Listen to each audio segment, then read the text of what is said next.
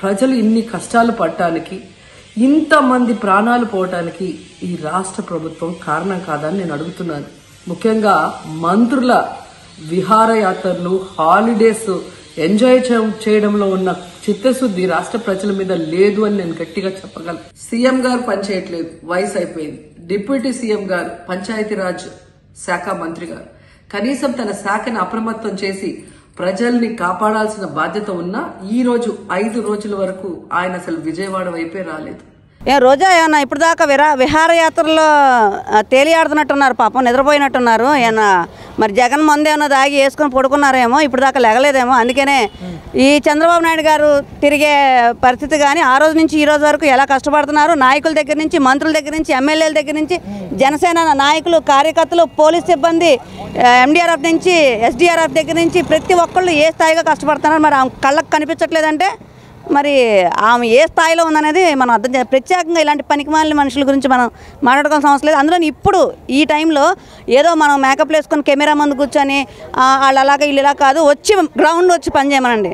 మోకాళ్ళతో ఇక్కడ దాకా నీళ్ళల్లో మునిగి వాళ్ళందరికీ ఆహార పొట్లాలు ఇచ్చి వాళ్ళు రిస్క్ చేసి ఇళ్ళలోంచి బయట తీసుకురామనండి అప్పుడు మాట్లాడమనండి. దానికి సమానం చెప్తాం. అంతేగాని ఎక్కడో కూర్చొని ఏసీ రూమ్లో కూర్చొని పిచ్చి పిచ్చి వాగుడు వాగితే మాత్రం బాగోదు. నిజంగా మీకు ఇప్పుడు ఉంటే అసలు ఈ ఇన్ని రో మూడు రోజుల నుంచి జరుగుతున్న పరిస్థితులు ఎక్కడైనా ఒక వైసీపీ కార్యకర్త వచ్చి పనిచేసాడు అడగండి. ఒక వైసీపీ కార్యకర్త ఒక ఒక పొట్లం ఒక ఒక బిర్యానీ పొట్లం కానీ ఒక నీళ్ళు కానీ ఏమన్నా ఇచ్చే పరిస్థితి ఉందా? ఏంటండి వీళ్ళు మాట్లాడేది? వీళ్ళు ఇప్పుడు ఈ కుటుంబ ప్రభుత్వం గురించి మాట్లాడే అర్హత వీళ్ళకు ఉందా? నిజంగా ఈ విపత్తు కనుక వైసీపీ ప్రభుత్వంలో వస్తే మొత్తం సింగనగర్లో లక్ష పాతిక వేలు అంత ఓటింగ్ ఉంది. దాంట్లో దగ్గర దగ్గర లక్ష మంది పోయేవారు. లక్ష మంది పోయేవారు. ఇక్కడ ఈ కుటుంబ ప్రభుత్వం కాబట్టే కనీసం కోర్స్ ఇబ్బంది ఉంది. సింగనగర్లో అఫ్ కోర్స్ ఇబ్బంది ఉంది కాదంట్లా. కానీ అది ఇది విపత్తు. విపత్తు అనేది విపత్తుకిను ఒక అంటే ముందే హెచ్చరించారు కదా. హెచ్చ- ఎవరు బుడమేర కట్ట తెగిపోతాని హెచ్చరించారు ఎవరైనా.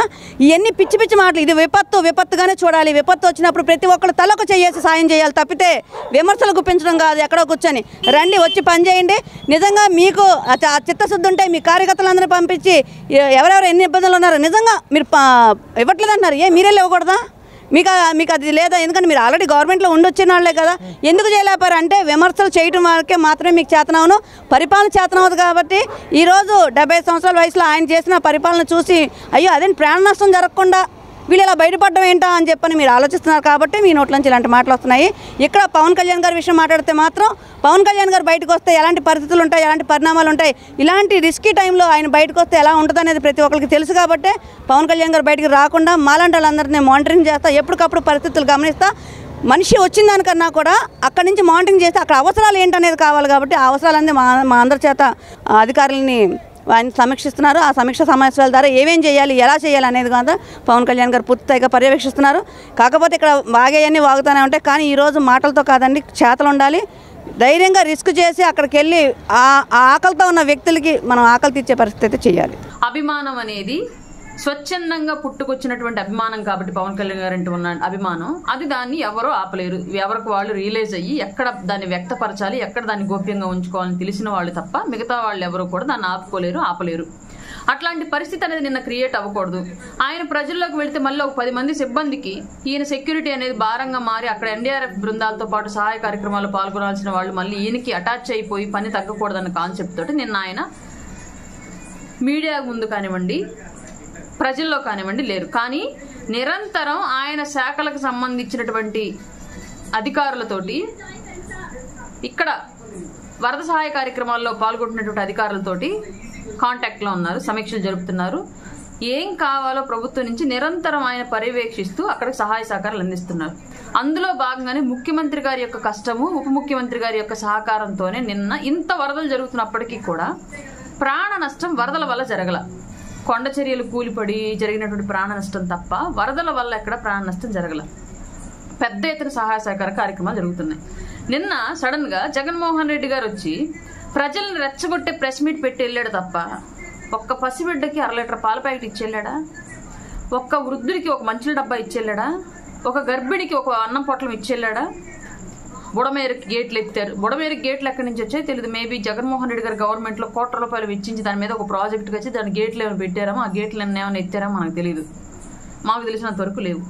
ఇన్ని జరుగుతూ ఇంత పవన్ కళ్యాణ్ గారు ఇంత స్థాయిలో సహాయ సహకారాలు అందిస్తూ ఆయన నిరంతరము ప్రజల కోసం ఆలోచిస్తూ ఉన్నా సరే ఇంకా ఆయన శంకించడం ఏంటి నాకు అర్థం కాలేదు. ఈ రోజు పవన్ కళ్యాణ్ గారు ఈ రోజు వచ్చారు.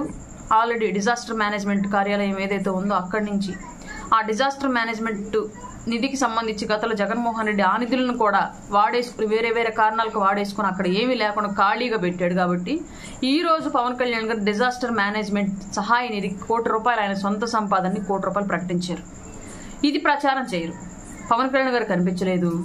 దీని గురించి పెద్ద ఎత్తున డిబేట్లు. అంటే మంచి చేసే వ్యక్తిని మంచిగా చూపించడం కన్నా కూడా మంచి చేసే వ్యక్తి మీద బురద జల్లేదాన్ని ఎక్కువ ప్రచారం చేయడం నేర్చుకున్నారు జనాలు. అని ఎవరైనా సరే. దీనిలో వైసీపీ శ్రేణులు పెద్ద ఎత్తున పాల్గొని అది ప్రచారం చేస్తూ ఉంటే రకరకాల వ్యవస్థల్లో ఉన్నటువంటి వైసీపీ శ్రేణులు దాన్ని సామాన్యులుగా మనం నమ్మి సందేహించడం మొదలుపెట్టాం. పవన్ కళ్యాణ్ గారిని నమ్మండి సందేహించకండి. ఆయన నిన్న బర్త్డే సందర్భంగా ఆయన అందుబాటులో ఉంటే సహాయ చర్యల్లో పాల్గొనకుండా వచ్చి ఇక్కడ పార్టీ ఆఫీస్ చుట్టూ తిరుగుతూ ఉంటారని చెప్పేసి ఆయన నిన్న అందుబాటులో లేరు. ఈ రోజు అందుబాటులోకి వచ్చారు. వస్తూ కూడా జగన్మోహన్ రెడ్డి లాగా వచ్చి ప్రెస్ మీట్ ముందు ఏది పడితే అది మాట్లాడి రెచ్చగొట్టేసి వెళ్ళిపోయినట్లుగా చేయాల ఆయన. రావడం రావడమే పరిస్థితిని తెలుసుకొని ప్రభుత్వం యొక్క ఇబ్బందిని ప్రజల యొక్క ఇబ్బందిని కూడా అర్థం చేసుకుని కోటి రూపాయలు మళ్ళీ ఆయన సొంత సంపాదన ఆంధ్రప్రదేశ్ రాష్ట్ర విపత్తుల నిర్వహణ సంస్థకి కోటి రూపాయలు స్వచ్ఛంద విరాళం ప్రకటించారు ఆయన. అలాగే కార్యకర్తల నుంచి కూడా స్వచ్ఛందంగా విరాళాలు ఇచ్చేవాళ్ళు ఉంటే ఇవ్వండి ప్రజలను మనం ఆదుకోవాల్సిన టైం ఇదని చెప్పేసి పిలుపునిచ్చారు. రేపటి నుంచి నిరంతరం జనాల్లో కూడా వెళ్ళే అవకాశం ఉంది. దానికి సంబంధించి ఈరోజు ప్లానింగ్ జరుగుతోంది. అంతే తప్ప ఎవరిష్టం వచ్చినట్టు వాళ్ళు పవన్ కళ్యాణ్ గారిని శంకించి మాట్లాడడం మానేయండి. పవన్ కళ్యాణ్ గారు వస్తే పరిస్థితి ఎలా ఉంటుందో ప్రజలందరికీ తెలుసు. ఎందుకంటే అక్కడ ఏముందో కూడా చూసుకునే పరిస్థితి యువతకు ఉండదు. అది మంచి జరిగిద్ది అనడం కూడా నష్టం జరిగిద్దేమో అని పవన్ కళ్యాణ్ గారు ఎక్కువ ఆలోచిస్తారు. ఒక దగ్గరికి రావాలంటే ప్రమాదం ఎక్కువ అని ఆలోచిస్తారు. అది ఎప్పుడు ఉండే ఆలోచన పవన్ కళ్యాణ్ గారిది. ఎందుకంటే అది తెలిసిన విషయమే. పవన్ కళ్యాణ్ గారు వస్తే యువత అక్కడ నీళ్ళు ఉన్నాయా నిప్పులు ఉన్నాయా ఏమున్నాయో కూడా పట్టించుకోరు. ముందు అందులో పడిపోతారు వాళ్ళు. వాళ్ళకి నష్టం జరిగిద్దని పవన్ కళ్యాణ్ గారు ఆలోచిస్తారు. అది ఎప్పుడూ ఉన్నదే. దాని గురించి రోజా గారు మాట్లాడడం ఎలా ఉంటుందంటే దెయ్యాలు వేదాలు వల్లిస్తున్నట్టు ఉంటుంది. అసలు మాట్లాడే అర్హత రోజా గారికి ఉందా అని చెప్పి నేను జనసేన పార్టీ నుంచి అంటున్నా. ఈ ఐదు సంవత్సరాల్లో వరదలు వచ్చినప్పుడు సీఎం గారు ఏ రోజన్నా వచ్చి ఎవరైనా పరామర్శించారా? హెలికాప్టర్లో చూస్తూ అలా వెళ్ళిపోయారు ప్యాలెస్ మీద ప్యాలెస్ దగ్గరికి. అక్కడ హెలికాప్టర్ ఎక్కడం చూడడం మళ్ళీ హెలికాప్టర్ దిగడం. ఇదే చేసింది సీఎం గారు. ఏ రోజు కూడా ఒక నీళ్ళలో దిగి వరద బాధితుల్ని పలకరించిన దాఖలాలు ఎక్కడా లేవు. ఎప్పుడు? అప్పుడు ఆయన ఇప్పుడు సీఎం కాదు కదా. ఇప్పుడు ప్రతిపక్షంలో ఉన్నారు. కాబట్టి ప్రజలు గుర్తొచ్చారు. అప్పుడు అధికారంలో ఉన్నారు. ప్రజలు గుర్తుకు రాలా. అలా చూసి అలా వెళ్ళిపోయారు. దాని గురించి మాట్లాడే అర్హత రోజా గారికి లేదు. రోజా గారు ఏదో పిచ్చి పిచ్చి మాటలు మాట్లాడుతున్నారు. ఏదో మంత్రులంతా కూడా విదేశాల్లో వెళ్ళారు. పర్యా పర్యాటక శాఖలకు వెళ్ళిపోయారు. పర్యాటక శాఖ మంత్రులు అని చెప్పి మాట్లాడుతున్నారు. అసలు పర్యాటక శాఖ ఎవరన్నా ఫుల్ఫిల్గా బాగా చేశారంటే అది మీరు ఎందుకంటే పర్యా ఎక్కువ పర్యటించింది మీరే విదేశాల్లో. లోకల్గా పర్యటించలేదా ఆమె? ఎప్పుడు చూసినా పర్యాటక శాఖ మంత్రి ఇచ్చినందుకు ఎక్కువ విదేశాల్లో పర్యటించింది ఆమె. లోకల్గా ఏ రోజు ఎవరికి అందుబాటులో లేరు. ఈ వైఎస్ఆర్సీపీ నాయకులకి నేను ఒకటే చెప్తున్నాను. మీ కళ్ళబొల్లి మాటలు ఎవరు పట్టించుకునే స్థితిలో ఎవరూ లేరు. కూటమి ప్రభుత్వంలో ప్రజలందరూ బాగుంటారు. అలాగే మీరు మాట్లాడాల్సింది ఏంటంటే ఐదేళ్ళలో వరదలు వచ్చాయి కరోనా వచ్చింది పెద్ద పెద్ద ఎన్నో ఎన్నో ఇబ్బందులు పడ్డారు ప్రజలు. కానీ మీరుండి ఏ రోజు కూడా ఎవరిని ఆదుకోలేదు హెలికాప్టర్ కారులో తిరిగింది కూడా లేదు. కానీ చంద్రబాబు నాయుడు గారు ఈరోజు మీరు చూస్తే కబేలా సెంటర్లో నడుచుకుంటూ వెళ్ళిపోయారు నీళ్ళల్లో. మోకాళ్ళ పైన వాటర్ ఉన్నా ఆయన నడుచుకుంటూ వెళ్ళిపోయారు. ఎవరు ఆపినా ఆగలేదు. అది గొప్ప నాయకత్వం అంటే అది. పవన్ కళ్యాణ్ గారు సీఎం నిధులకి ఇప్పుడే జస్ట్ మీరు వచ్చే ముందే వచ్చి నూసు కోటి రూపాయలు విరాళం ఇచ్చారు. ప్రజలకు అండగా నిలబడండి పవన్ కళ్యాణ్ గారు ఇక్కడ లేకపోయినా ఎప్పటికప్పుడు ఆయన పరివేరు చూస్తూనే ఉన్నారు. ఏం జరుగుతుంది? ప్రజలు ఎలా ఉన్నారని చెప్పి అప్రమత్తంగా ఉండాలని చెప్పి ఆయన పరిశీలిస్తూనే ఉన్నారు. అలాగే జనసేన పార్టీ నుంచి మాకు పిలుపునిచ్చి జనసేన నాయకులకు జనసైనికులకు వీర మహిళలకు కూడా ఎప్పటికప్పుడు పిలుపునిచ్చి ప్రజలందరికీ అండగా నిలబడమని చెప్తూనే ఉన్నారు. ఇందులో ఎటువంటి సందేహం లేదు. ఇంతకీ రోజా గారు విహారయాత్ర ముగించుకొని వచ్చారా? ఆవిడ ఆంధ్రాలో ఉన్నారా ఇండియాలో ఉన్నారా అసలు ఎక్కడ ఉన్నారో ప్రజలకు సమాధానం చెప్పాలి. రెండోది మా గురించి చెప్పే ముందు మా గురించి మాట్లాడే ముందు అధికారంలో ఉన్న వాళ్ళే సర్వీస్ చేయాలి అధికారంలో లేని వాళ్ళే సర్వీస్ చేయకూడదని రాజ్యాంగంలో ఎక్కడ రాయలేదు. స్వచ్ఛందంగా ఎవరైనా వచ్చి సర్వీస్ చేయొచ్చు. దారిమిడి వెళ్ళే పేదవాడి దగ్గర నుంచి ధనికుడి దగ్గర నుంచి ఎవరైనా వచ్చి సర్వీస్ చేయొచ్చు. మానవతా దృక్పథంతో. దానికి సేవకు పరిమితం లేదు. ఆవిడ ఇందాక చూశాను మీరు అన్నట్టుగా. ఆవిడ ఏదో ఏసీ గదిలో కూర్చొని ఎక్కడి నుంచో అబ్రాడ్ నుంచో మాట్లాడుతున్నట్టున్నారు. ఆవిడ లేటెస్ట్గా ఇప్పుడు ఆవిడ అధికారంలో లేకపోయినా గతంలో ఈ పాపంలో మెజారిటీ భాగం ఆవిడదే ఉంది. ఎందుకంటే ఆవిడ మొన్నటి వరకు చేసింది టూరిజం శాఖలో మినిస్టర్గా చేశారు. టూరిజం శాఖకు సంబంధించి పొన్నమే ఘాట్ కానీ ఫెర్రీ ఘాట్ కానీ ఇతరత్ర వాటర్ సంబంధించిన కృష్ణా నదికి సంబంధించిన నీటికి సంబంధించి కూడా దానికి సంబంధించి అవకతవకలు ఏం జరిగినా ఇన్నాళ్ళ వరకు చేసిన టూరిజం మినిస్టర్గా ఆవిడ బాధ్యత ఉంటుంది.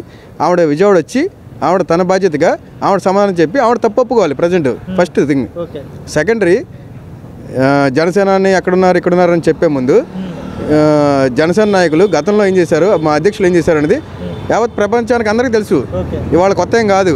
ఆయన తిత్లీ తుఫాన్ వచ్చినప్పుడు కానీ ఇతరత్ర ప్రమాదాలు సంబంధించినప్పుడు కానీ వైజాగ్ మునిగిపోయినప్పుడు కానీ ఆయన ఎన్ని కోట్ల విరాళాలు ఇచ్చారు సైనిక పోటీకి ఎన్ని లక్షల విరాళాలు ఇచ్చారు?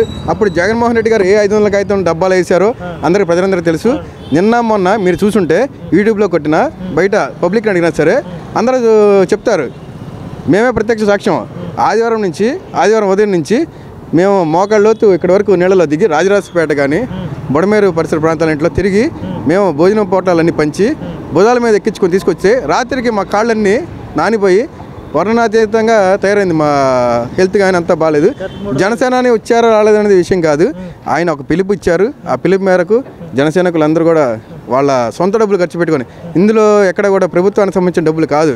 వాళ్ళ సొంత డబ్బులు జనసైనికులు సొంత డబ్బులన్నీ ఖర్చు పెట్టి ఎవరికాళ్ళు ఆహారం అంతా వండించి వాళ్ళే సప్లై చేసి డ్రోన్లు కూడా వెళ్ళలేని డ్రోన్లు అంటే ఇవాళ వెళ్తున్నాయి. నిన్న మొన్న డ్రోన్లు రానప్పుడు కూడా వాళ్ళే ఇళ్ళలోంచి ముసలి వాళ్ళని అందరిని తీసుకొచ్చి అందరికి పునరావాసం ఏర్పాటు చేసి తినడానికి కానీ పాల ప్యాకెట్లు కానీ అన్నీ అందజేసి వాళ్ళ సొంత డబ్బులతోటి ఖర్చు పెట్టారు తప్ప ఎక్కడ జన సైనికులు ఎప్పుడు కూడా సేవా కార్యక్రమం వెనకాడికి వేసే ప్రసక్తి ఉండదు. అధికారంలో ఉన్నా లేకపోయినా. ఇవాళ వాళ్ళు జనసేన పార్టీ గురించి కానీ జనసేన అధ్యక్షుల గురించి కానీ జనసేన కార్యకర్తల గురించి కానీ మాట్లాడే నైతిక ఇది వాళ్ళకి ఎక్కడ కూడా లేదు.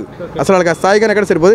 ఏ రోజైనా సరే వాళ్ళు ప్రెస్ మీట్ పెట్టి మేము ఇది చేసాము ఇలాగ డెవలప్మెంట్ చేసాము ఈ స్కీమ్ తీసుకొచ్చాము అని ఎప్పుడన్నా చెప్పడానికి ఎప్పుడన్నా వచ్చారా ప్రెస్ మీట్కి? ఎప్పుడు చూసినా తిట్టడానికి బూతులు తిట్టడానికి సినిమా టికెట్ల గురించి మాట్లాడడానికి తప్ప సర్వీస్ పరంగా కానీ ప్రజలకు ఉపయోగించే పథకాలకు సంబంధించి కానీ ఏమన్నా చేశానని చెప్పడానికి ఎప్పుడన్నా వచ్చారా? ఎప్పుడు చూసినా సరే ప్రజల్ని ఓట్ బ్యాంక్ వాడుకోవడానికి నాయకుల్ని పనిచేసే వాళ్ళని తిట్టడానికి తప్ప ఎందుకు పనికిరారు? వాళ్ళ మాటలు పట్టించుకునే అవసరం కూడా లేదు.